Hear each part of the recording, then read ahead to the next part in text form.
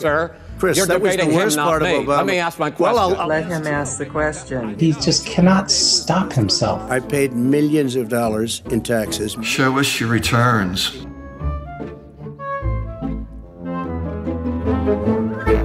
I've been a Republican all of my adult life. I have exclusively supported Republican candidates. I am a registered Republican. I have been a Republican my whole life. Presidential debates are so important for our democracy, getting to have that firsthand experience, listening to the candidates and hearing what they have to say for themselves and allowing you to form an opinion. Main traits I look for in a president are compassion, intelligence, ability to deal with crises, and looks out for those less fortunate.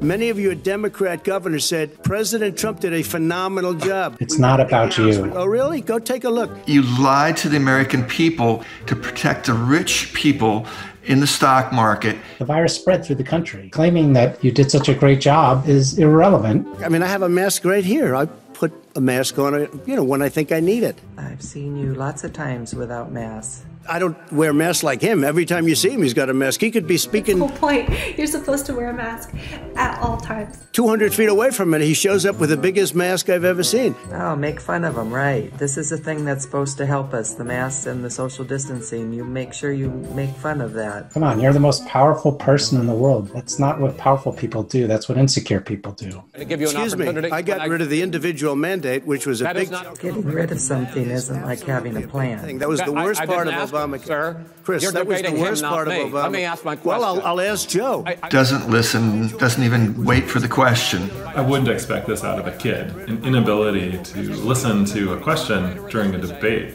Is it true that you paid $750 in federal income taxes each of those two years? I paid millions of dollars. in That's not what it says. We have the $38 receipt. million dollars one year.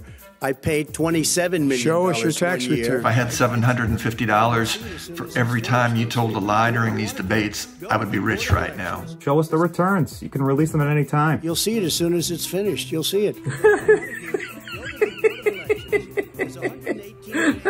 For four years, we've heard that. You'll see it when I release it. Well, I wonder when that will be. Are you willing tonight to condemn white supremacists and militia groups? Sure, Are you I'm prepared to do that, specifically but Do it. I want to see Well, peace. then do it, sir. Say it. Do it. Say it. Say it.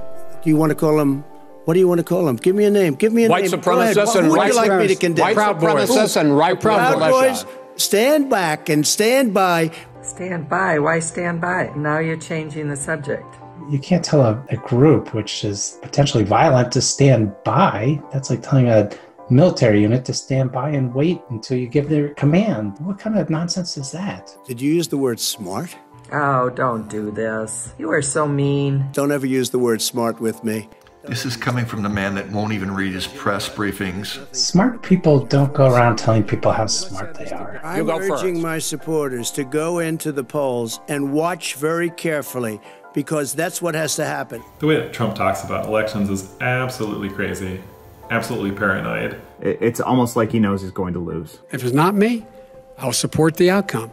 And I'll be a president not just for the Democrats, I'll be a president for Democrats and Republicans. That's what I want. That's called leadership. That's what I'm looking for in a president. I'm supporting Joe Biden for president because he has the experience and the temperament to help bring this country together. He's running to represent all Americans, and that's what our nation needs right now. I see a decency and a normalcy in, in Joe Biden that makes me trust him. I'm a Republican, and I'm going to be voting for Joe Biden for president. I will be voting for Joe Biden. And I am voting for Joe Biden. I'll be voting for Joe Biden. I'm a Republican, and I'll be voting for Joe Biden.